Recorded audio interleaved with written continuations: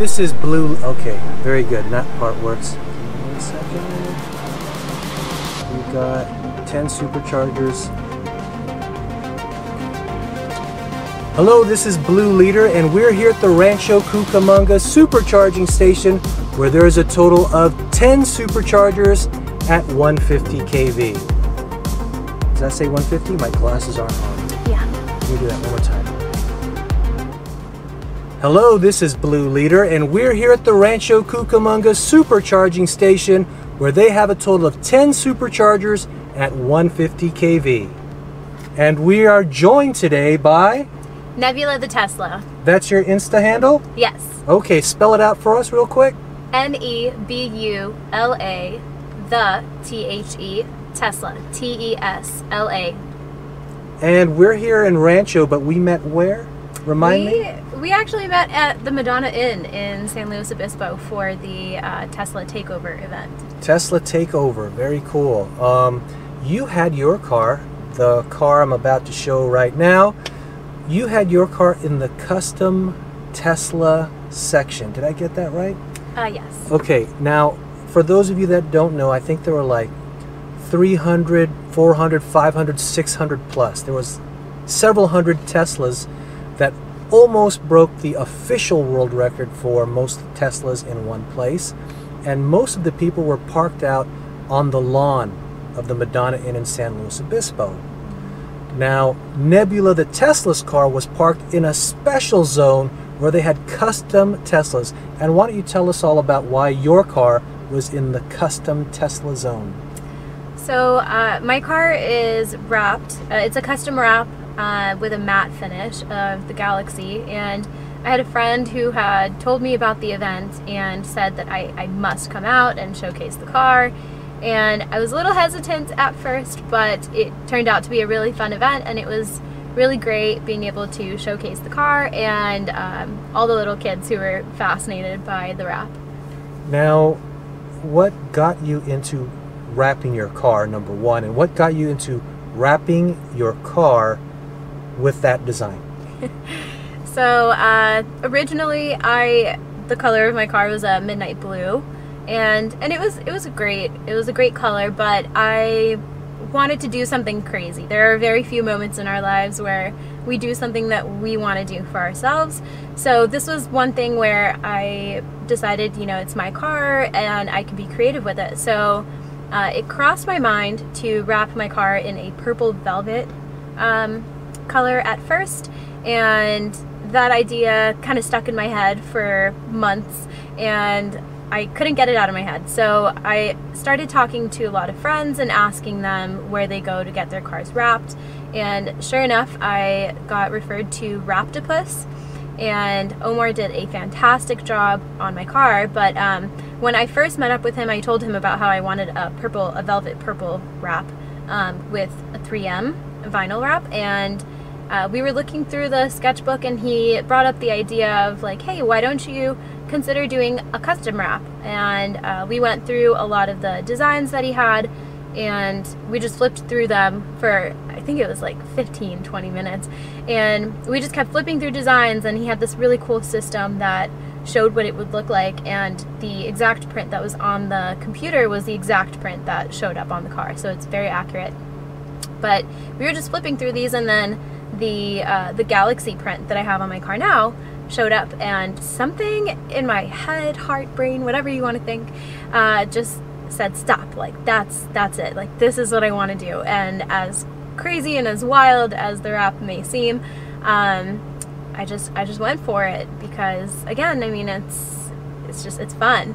So um, i dropped my car off and omar got it all wrapped up and when I picked it up, I was blown away. I kept it in my garage for two days right after the wrap because it was just, it took a lot of adjustment.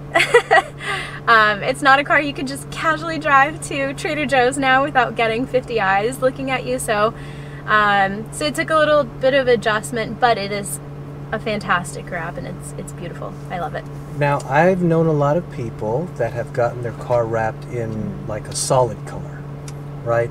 Or or one tone. You got it in what can we call it? Like a pattern, a design, a photograph? What what is that? multi-tone. It's the galaxy. It is literally It's the galaxy. It's very layered, lots of light, lots of darkness, yeah. mostly purple-ish. So, like you said, you, you get eyes on it. What type of attention have you gotten from driving that car?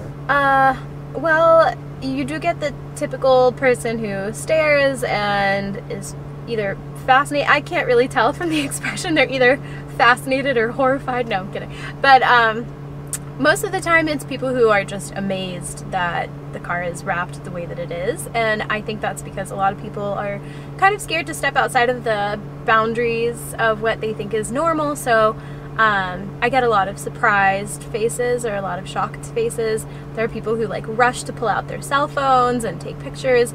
Um, and then, but my favorite type of attention is when the little kids come up to my car and they yank on their parents' hand and they go, "Look, it's the Galaxy car." Um, I The Galaxy car. yeah, As they- if they've seen it before?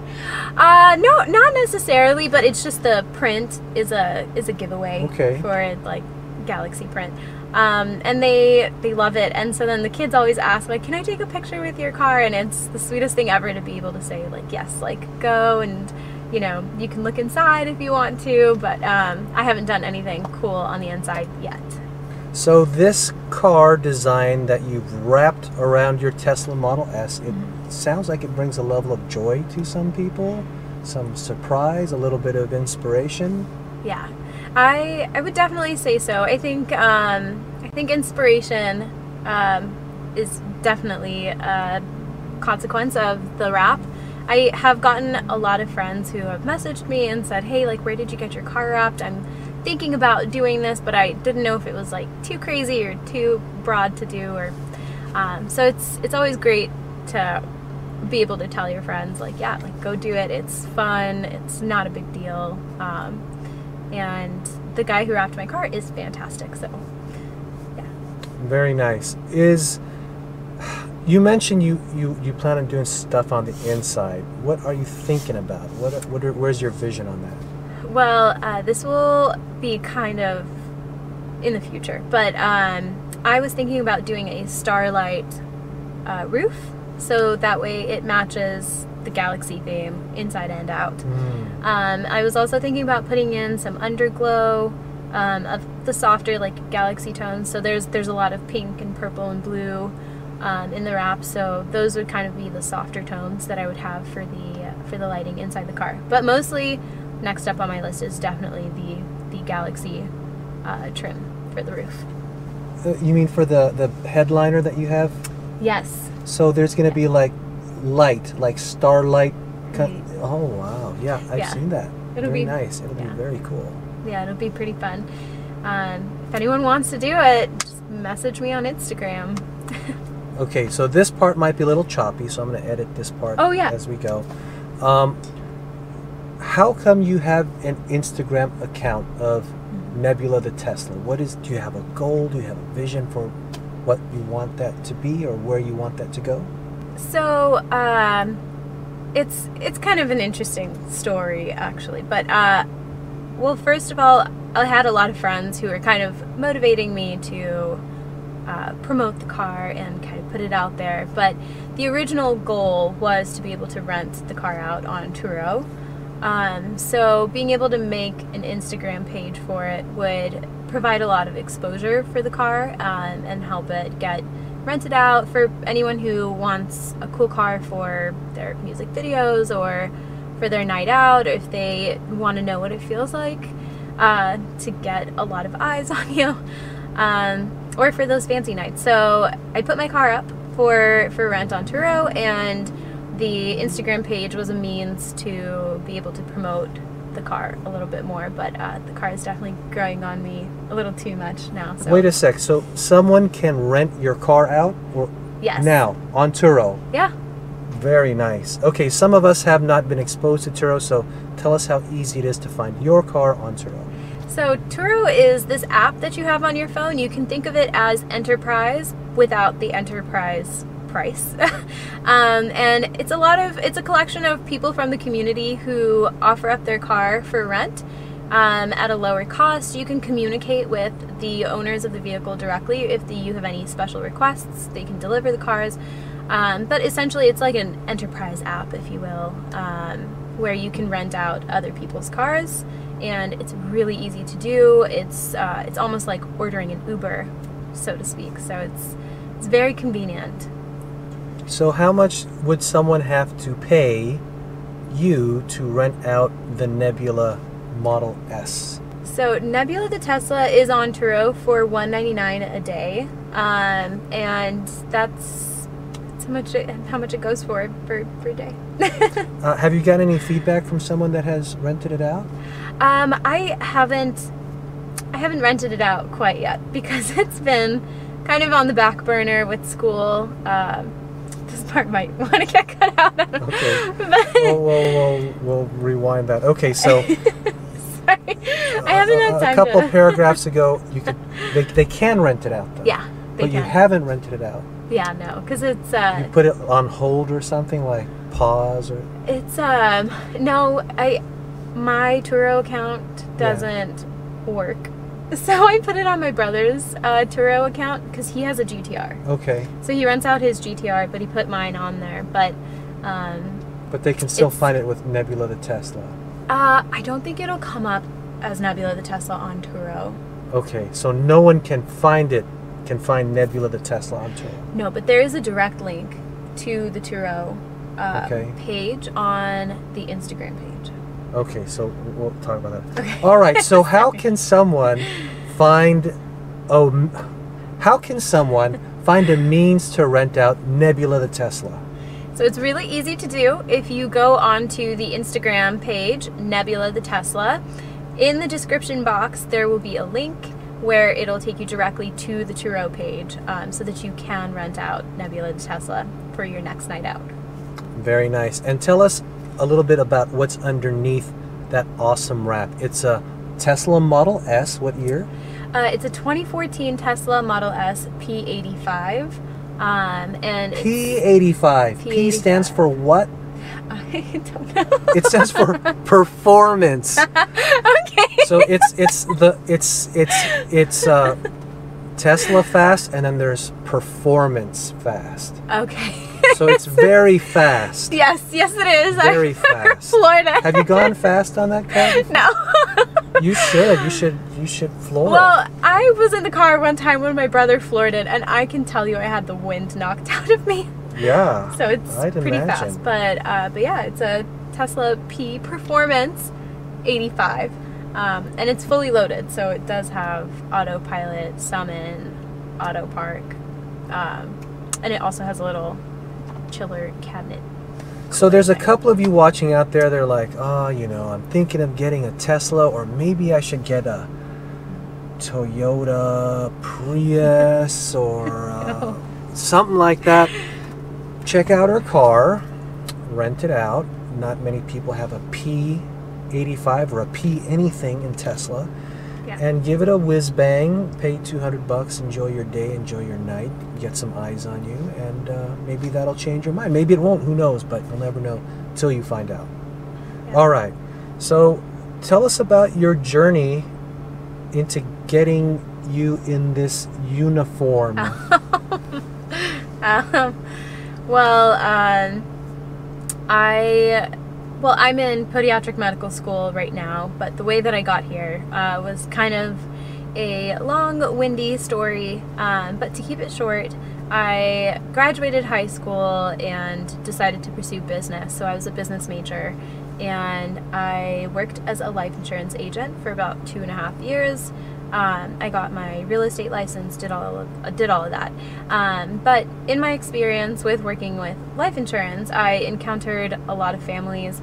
Um, sorry, can I? I'll restart. But do I look at you or look at the camera? it's too late. There's so much of the interview Oh, where you looked here, and I'm looking at you. So Oh, let's let's let's okay. We I should look at each other. That's okay, because I wasn't sure. where were we? uh, the story, but The story. So you got uh, your real estate license, yes, right? And then what happened? So I got my real estate license, and um, but I also pursued life insurance. So I became a life insurance agent and sold life insurance for about two and a half years. Whole or term? Uh, both, actually. And what- we sold annuities too. Uh, Oh, annuities. We'll get to that in a sec. Let, let's go into your past life. Was it? Did you have a goal of selling either term or whole, or it didn't matter? What It What was the thing? It was whichever was the best fit for the client. Okay. Some people whole term worked better for their needs. Yeah. Other people preferred term life insurance, and that's what we gave them. Very cool. So If you guys don't know what whole or term life insurance is, you're in trouble. You need to know the difference because something can happen to you. I Yes. mean, do you still sell it? Are you still licensed to sell? I'm not licensed to sell, but I do have a lot of uh, family friends who are still in the business. Yeah, there are links in the description. yeah, some can happen to you. Like if people are Yeah. dependent on you financially, Yeah. uh, they could be in a world of hurt Yeah. if something bad happens to you. God forbid. Yeah, So- absolutely. Um, but yeah, uh, so I sold life insurance for about two and a half years, and during that time, I think my my worldview or my world bubble kind of got burst a little um, because typically you would sell life insurance to a variety of folks, but um, a lot of my clients were actually low income Mm, clients. mhm. So a lot of them, and I think one of the pivot stories of my life was meeting an elderly woman who was purchasing life insurance, and it was probably one of the easiest sales I've made. Um, and it just made me really curious why she was purchasing life insurance. And she could no longer afford her insulin medication, so she was preparing for her death, and that kind of struck my my core and made me question uh, the society that we live in and you know how how people are living. Um, and so that kind of drove me to want to pursue uh, global medicine initially and i sure enough did go back to school i went to ucsd for undergrad originally as a global health major and then i switched to public health because i learned there was a lot of politics So you had a, a, a bachelor's degree before, or this was your getting your first bachelor's. I was getting my first bachelor's, and then I decided to work because uh, work experience is more valuable in the business world than a business degree. sure. Um, people in the business world often ask, What kind of experience do you have? They don't necessarily ask you, What kind of degrees do you have? Do you have your master's? Um, I've never been asked that question when I was pursuing business.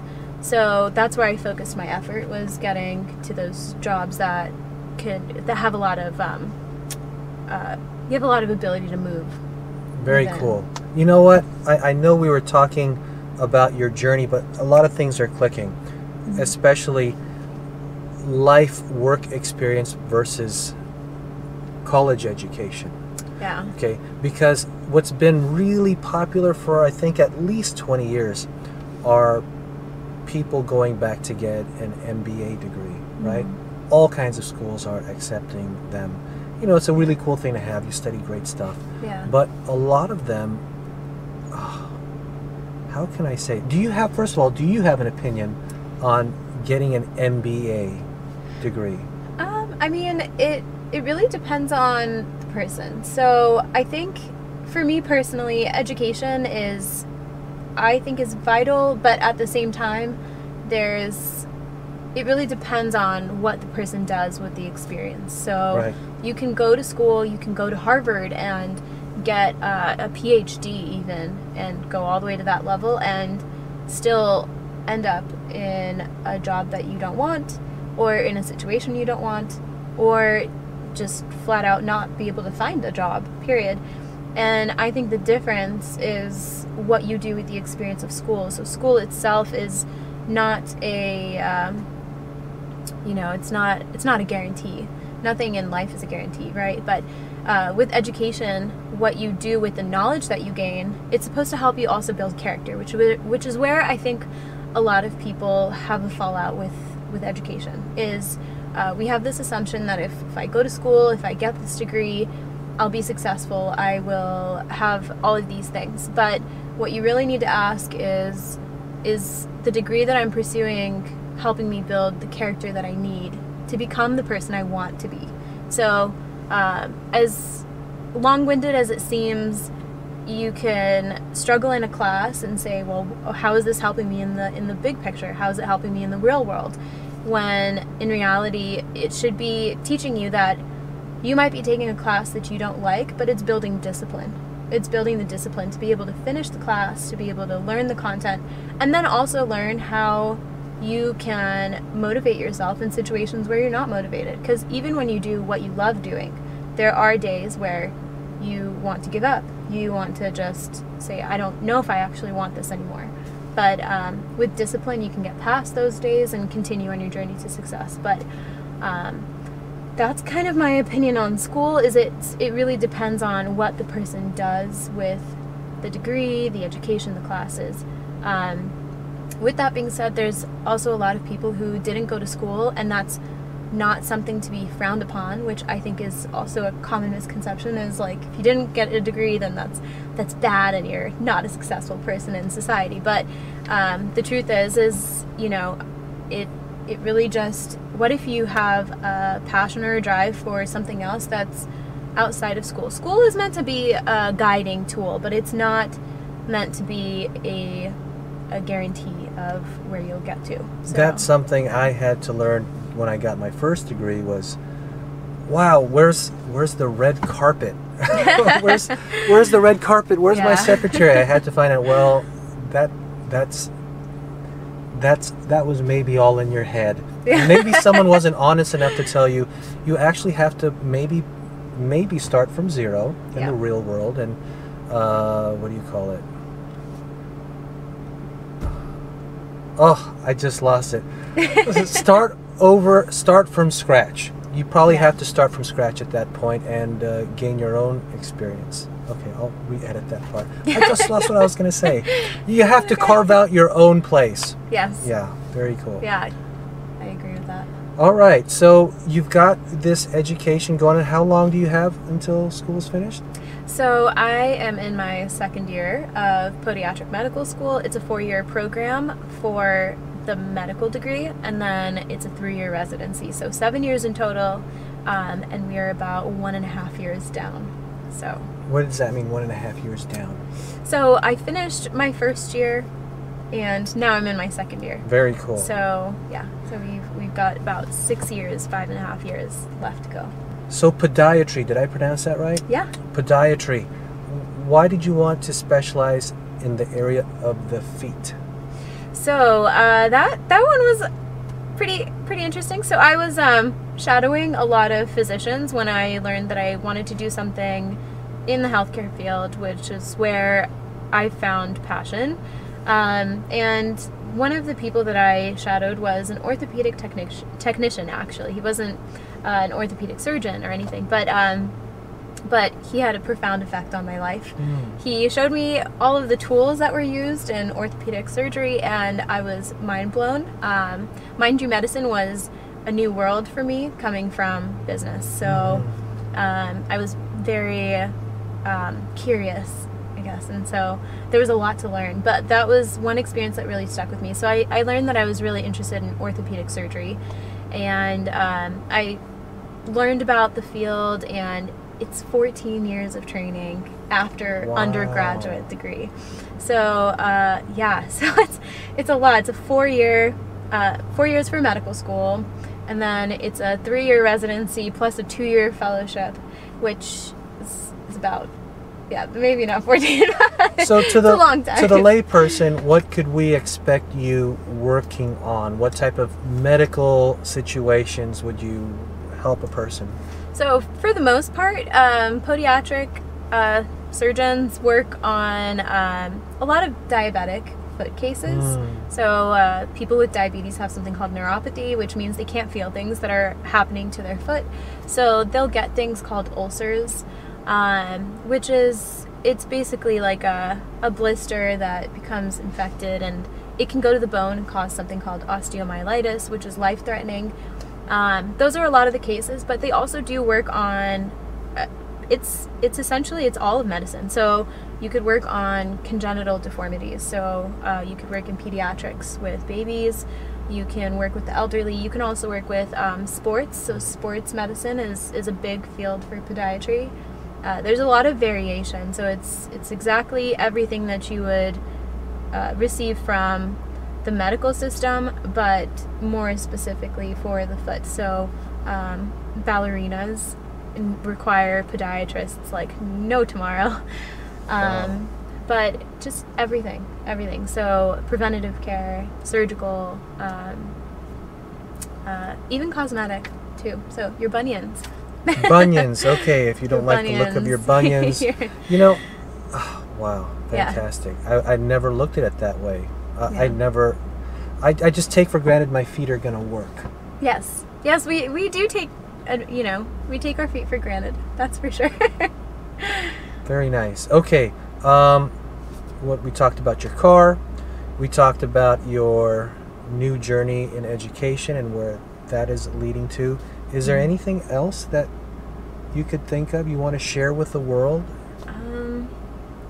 Well, the one thing that I will say is don't be afraid to push the envelope. So if there's something that you're even moderately interested in, um, whether it's car design or career choice, um, be willing to go outside of your comfort zone because that's where growth happens. So that seems like a theme for you getting out of your comfort zone that's like the, the the unifying theme between getting a car that is out of it's in another zone okay i'm doing this because it's over there yes. and and um, doing a career educational change yeah. right that was uh, did you see that coming or not? not at all. no, when I was in high school, I I really thought that I was going to pursue business my whole life yeah. and work on Wall Street. Yeah. so, uh, yeah, that's very far from reality, but I love my reality, so it, it works out. very cool. All right, thank you so much. This is Blue Leader, and this is Nebula the Tesla. And we'll see you soon, maybe on what's the name of the app that people can rent? Turo. Turo. Look for Nebula the Tesla on Turo. Yeah, see you later. Go support my medical education. bye bye. Okay, hit that. Uh... Congrats! You made it to the end. Comment your electric thoughts and share with your circle of trust. Thanks for letting us supercharge your Tesla destination.